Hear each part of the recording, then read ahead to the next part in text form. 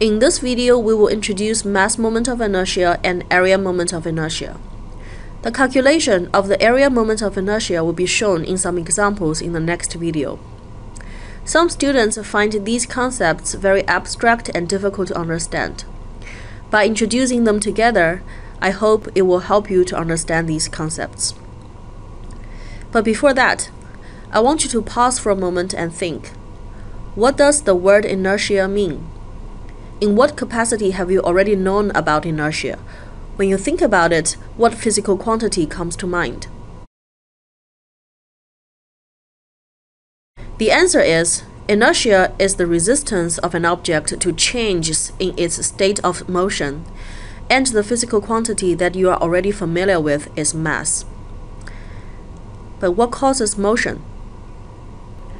We know that force causes translational motion, while moment causes rotational motion. According to Newton's second law, force equals to mass times linear acceleration. Or it can be written this way that the acceleration a is caused by force F, and it equals to F divided by the mass of the object m.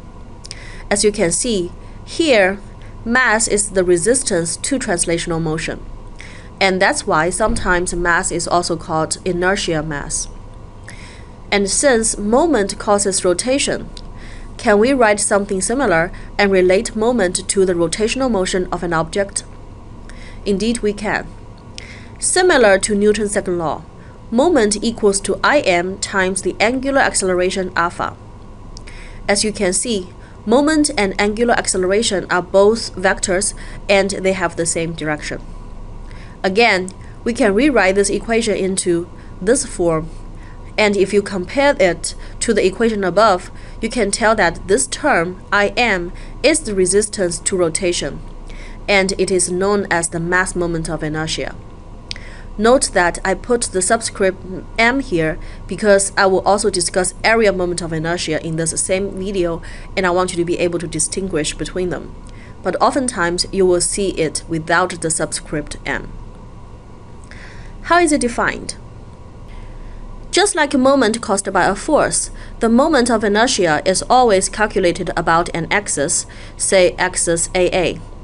On the rigid body, for an arbitrary differential element with the mass dm, we can find the perpendicular distance between it and the axis r and the mass moment of inertia about this particular axis AA is integration of r squared times dm integrated throughout the entire body.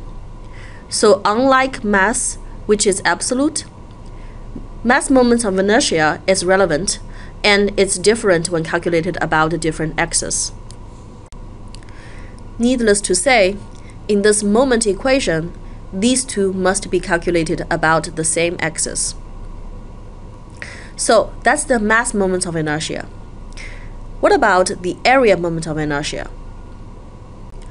We know that for an object with certain mass, if it has uniform density rho, then mass equals to rho times the volume v, and we can use a volume to represent the object. And if the volume has one uniform dimension, say uniform height h, then v is h times the cross-sectional area A, and we can use the area to represent the object. The area can be considered as a geometric reduction of the object. Similarly, if the object has a mass moment of inertia calculated about a specified axis, because dm equals to density rho times the differential volume dv, then this can be written as constant rho times integration of r squared dv throughout the volume of the object. And again, for constant height h, we can pull this constant outside the integration sign and get this, which is the area moment of inertia. So, mass can be reduced to a 2D geometric representation, the area. And similarly, mass moment of inertia can be reduced to a 2D geometric representation, the area moment of inertia. I will give examples in the next two videos on how to calculate the area moment of inertia.